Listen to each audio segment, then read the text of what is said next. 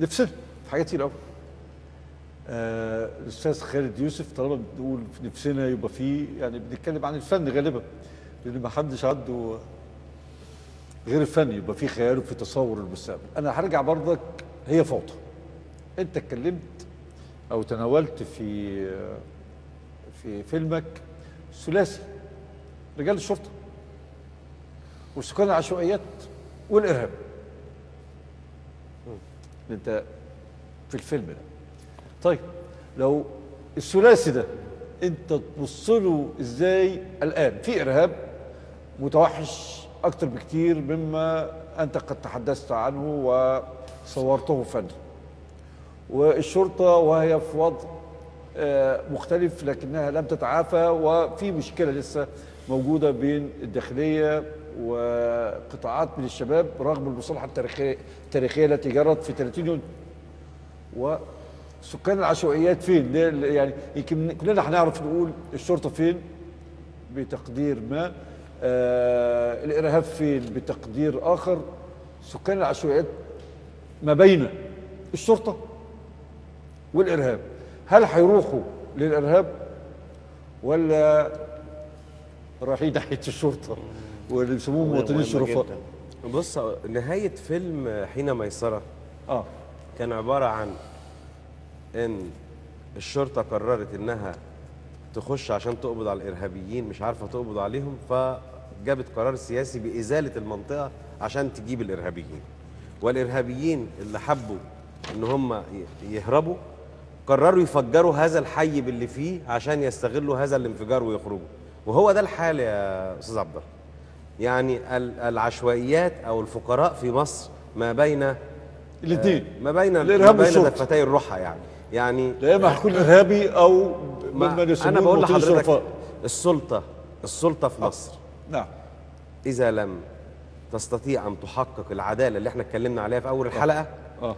العشوائيات دي هتبقى ما هي هتبقى ضحية الإرهاب. يعني ضحية سواء هتبقى مفرخة للإرهابيين لأنهم اللي بيشعر بالظلم ممكن طبيعي إنه يتطرف يا إما بيئة حاضنة للتطرف يا إما ضحايا للتطرف.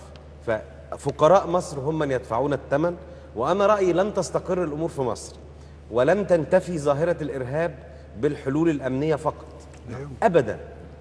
غير منظومة الحكم خلي خلي الحكم زي ما كده بنقول آه، يعني ال- ال- الحكم القائم على العدل هو الحكم الوحيد اللي نعم. ممكن يخلي كل الظواهر ديت السلبية تنتفي. لو مش هي لو لو الفقراء مش هياخدوا حقهم ومفيش عدالة اجتماعية ومفيش فعلا ضمانات للحرية الحقيقية في مصر ومفيش ومفيش كل اللي هي أهداف الثورة اللي طلع من أجلها المصريين في 25 يناير وفي 30 لو ما اتحققتش الإرهاب مش هيندثر ولا هيند ولا هيندحر وسيظل موجود لأن الإرهاب هي دي بيئته الحاضنة وهي بيئة الظلم. طيب أنا عاوز أسألك آه، في أيام أحداث محمد محمود ودي قصة سمعتها من شاب شافها يعني في حد من العشوائيات واضح من اطفال الشوارع ففي طالب يعني شاب ثوري وبيتقدم الصفوف فقال له ارجع أنت أهلك عايزينك. وهو اللي تقدم. هنا بتتكلم عن قيمة إنسانية رفيعة من عالم أنت بتدينه بسهولة.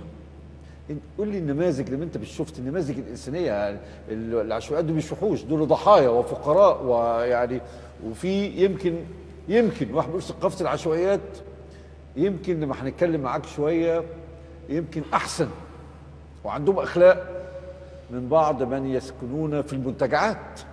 أنا عايز أقول خيانه لحضرتك. مشروعه الأخ الذي قتل اخيه يعني من أنت بتتكلم على أزمة. كبيرة ويمكن دول ضحايا أكتر. بص عايز أقول لك حاجة إنه ثبت بالتجربة في الثلاث سنين اللي فاتوا دول أن هؤلاء الفقراء هم أنبل من في الوطن لأن هم كان لديهم قدرة حقيقية في ظل انفلات الامني وعدم وجود جهاز الشرطة إن هم يخرجوا على مصر ينهبوه صحيح. ويخلصوا. ويخلصوا وشفنا النماذج الصغيرة اللي حصلت يوم 28 بالليل بس كانت حوادث فردية. والمذهل إن حتى هذه الحوادث الفردية لما بعض هذه الحوادث نسبت لحي بعينه واتقال في الإعلام أن هذا الحي سرق ثلاجات وغسالات وما. أعرفش إيه.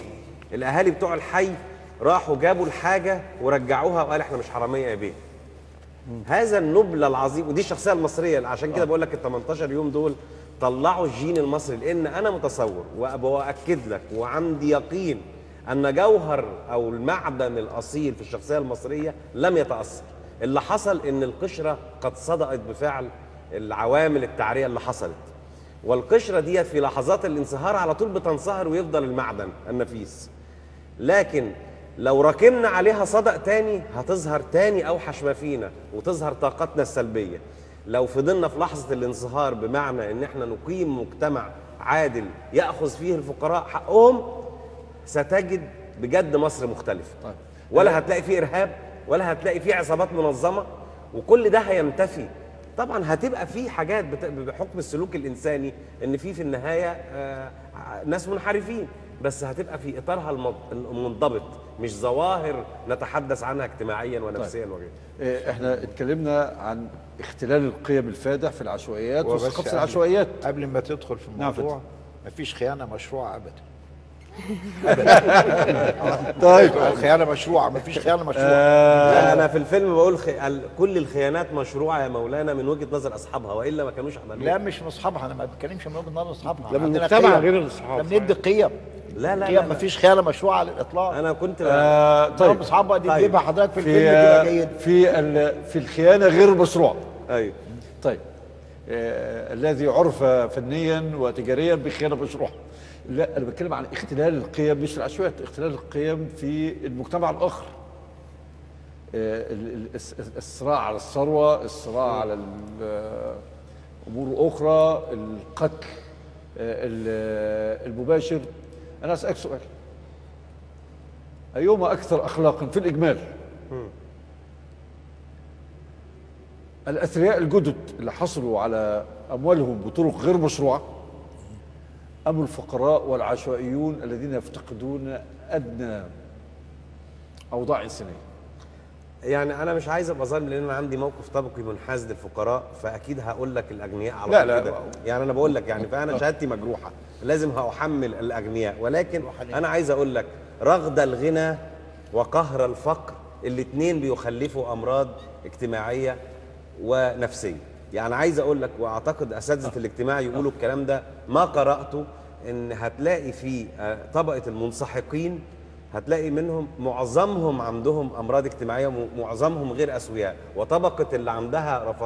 رغد الغنى الفاحش عندهم أمراض برضو معظمهم.